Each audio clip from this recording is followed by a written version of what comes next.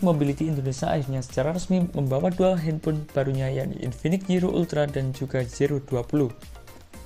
Kedua handphone ini mulai bisa dibeli tanggal 7 Oktober 2022 mulai pukul 12 siang melalui e-commerce yang menjadi partner resmi Infinix Indonesia yakni Shopee, Lazada, Akulaku, Blibli, JDID, dan Tokopedia.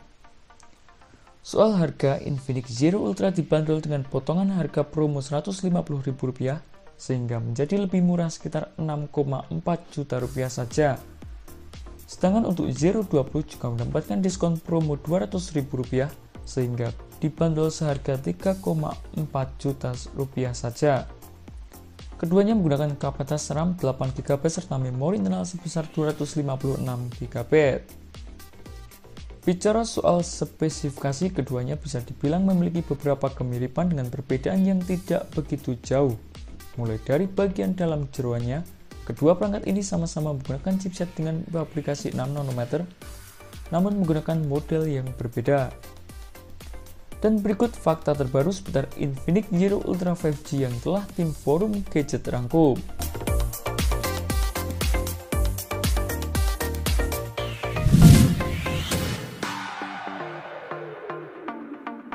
Ada banyak poin yang dinantikan penggemar Infinix dan penggemar gadget pada umumnya. Banyak fitur yang bertambah yang bikin tergoda buat ganti ke smartphone yang satu ini. Yang pertama adalah dari performa layarnya. Ini bukan kali pertama Infinix hadir dengan layar AMOLED. Sebelumnya sudah ada Infinix Note 11 dengan panel Super AMOLED, lalu jajaran Infinix Note 12 dengan panel AMOLED. Kini digadang-gadang Infinix Zero Ultra 5G juga hadir dengan panel Curve AMOLED. Full dihadirkan di bagian tengah, jadi gayanya sudah sangat kekinian. Dari dua ponsel Infinix sebelumnya yang pakai panel AMOLED tersebut, terbukti cukup memuaskan. Di kelas harganya yang terbilang terjangkau, kita sudah bisa menikmati tampilan layar yang tidak burik. Mau streaming, main game, ataupun sekedar scrolling jadi lebih nyaman di mata. Bukan hanya itu saja, kabarnya Infinix Zero Ultra 5G bakal hadir dengan sensor pemindai sidik jari yang posisinya di bawah layar. Yang kedua adalah konektivitas 5G. Sebelumnya memang sudah ada Infinix Zero Ultra yang mendukung jaringan tercepat saat ini yakni 5G. Performa Infinix Zero pun sukses mendapat pujian dari penggunanya.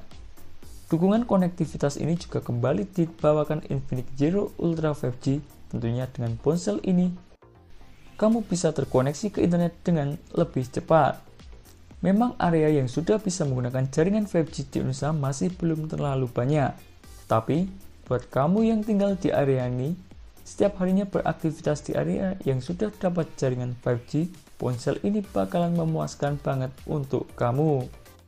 Yang ketiga adalah desain. Diperkirakan desain Infinix Zero Ultra mirip dengan Infinix Zero dengan lekukan di pinggirannya, jadi bukan bergaya mengotak seperti yang dibawakan seri Infinix Note. Panel kamera belakangnya juga sepertinya bakal mirip dengan warna yang menyatu dengan bodinya.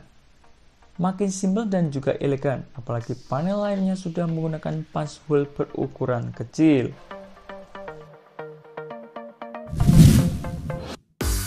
Kelebihan yang selanjutnya telah datang dari kameranya. Selama ini, performa kamera ponsel Infinix memang termasuk biasa-biasa saja, meski sama sekali tidak mengecewakan, terutama ponsel Infinix yang harganya 2,5 juta rupiah ke atas. Hasil foto dan juga rekaman videonya sudah cukup untuk diunggah ke Instagram. Nah, kali ini Infinix Zero Ultra tentunya performanya sangat meningkat Kamera depannya diperkirakan akan mengusung lensa wide dengan resolusi 32 megapiksel. Sementara di bagian belakang ada tiga buah kamera dengan kamera utama berlensa wide dengan resolusi 200 megapiksel dan juga ada lensa telefoto dan juga ultrawide masing-masing beresolusi 8 megapiksel.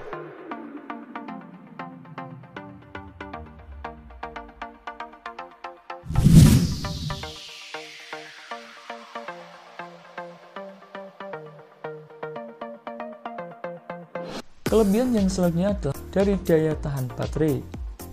Kapasitas baterai Infinix Zero Ultra 5G adalah 4500 mAh yang bisa bertahan seharian bahkan lebih dari 24 jam untuk intensitas penggunaan yang rendah.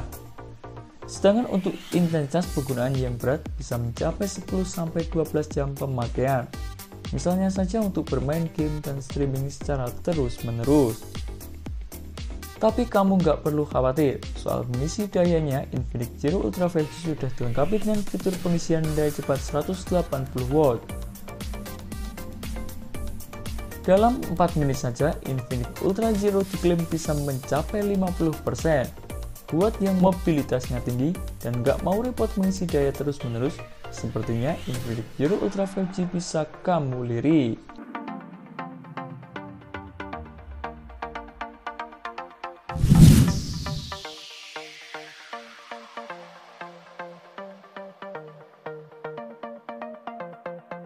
Dan itulah beberapa informasi mengenai jagoan terbaru dari Infinix yaitu Infinix Zero Ultra 5G.